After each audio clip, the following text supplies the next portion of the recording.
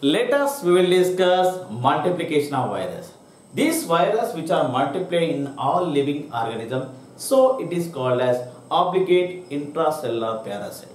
So it has uh, two cycles there, like one is a lytic cycle and other one is lysogenic cycle. So what is meant by lytic cycle, sir? It is also called as another name is there. That name is virulent phase. Sir, what is meant by lytic cycle? The virus which attack like a T-even bacteriophages is the T2, T4, T6 like a T-even bacteriophages which are attack like a E. coli bacteria then lysis of the cell is called as lytic cycle. So it has a five stages is there. One is APBMR. Just I created one code is there. That is an A mean attachment, P mean penetration, and B mean biosynthesis, and M mean see maturation, and R mean release. So it has a five stages is there. Then like the first one is what is there? You know attachment is there. So see this is a bacteriophages is there. Already we know we are studying like a different different structures like uh, a TMV and bacteriophages. Especially these bacteriophages, this is this part to here to here part is called as head and this part is tail is there. So these what happens are here the bacteriophages. First one what is there? Attachment is there.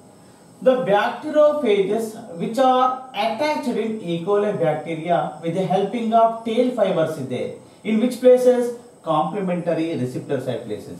The bacteriophages which are helpful like tail fibers which are attached in complementary receptor site in E. coli bacteria. So that is called as attached is there. Simply which are attached.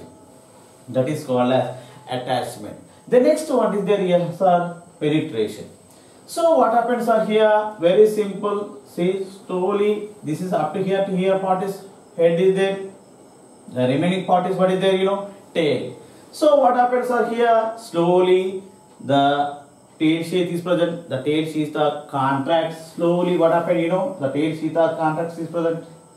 Contracts slowly. Then after what happened you know the remaining parts is what is there you know tail fibers and uh, tail sheath slowly which are enter within the cell wall to plasma membrane.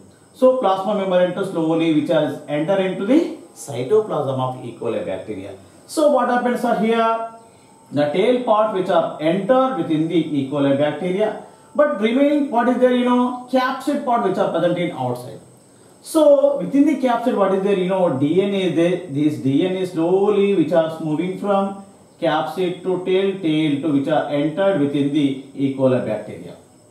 Then what happens are here, when these DNA which are entered within the E. coli bacteria, at that time these bacterial DNA are degenerated, in that who are there only for phage DNA is present. So what happens are here, this uh, bacterial DNA are degenerated within the E. coli bacteria only phage DNA is present. So see be careful this slowly which are entered within the E. coli bacteria. So the bacteria in that what happened you know phage DNA which are entered within the E. coli bacteria like this process is there. But what happens are here the capsid part which are present in outside of the E. coli bacteria that part is called as ghost. Except of capsid the remaining part which are entered within the E. coli bacteria is there. So that is called as ghost which is very very important in NEET examinations. So what happens are here slowly the phage DNA is entered within the E. coli, bacteria, e. coli bacteria so it is called as penetration. The next what is there? Biosynthesis. It means see this phage DNA slowly which are multiplied, multiplied and which is produced a lot of simple phage particles and as well as capsid and enzymes are produced within the E. coli bacteria. So what happens are different different caps are produced in some capsid are produced in some places what happened you know capsid are produced next uh, tail are produced tail fibers are produced DNA are produced like a total assembled parts are produced within the E. coli bacteria. So that is what happened you know the process is called as biosynthesis. The next one is there here very simple the next one is maturation. So what is mean by maturation, sir? Here very clear the assembled part also formed. These assembled parts are fused to form complete virions is. That complete virions is called as maturation. Then after what happened, you know, see complete virions are produced within the E. coli bacteria. They are ready to move in outside. At that time what happened, you know, these bacteriophages uh, which is released lysozyme enzyme.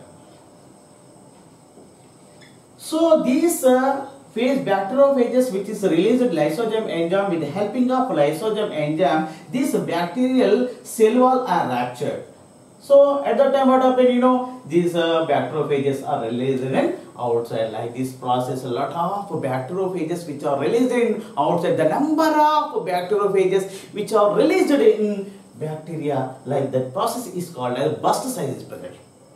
So what happened, you know, like this processes are uh, released in outside. So this is a lytic cycle.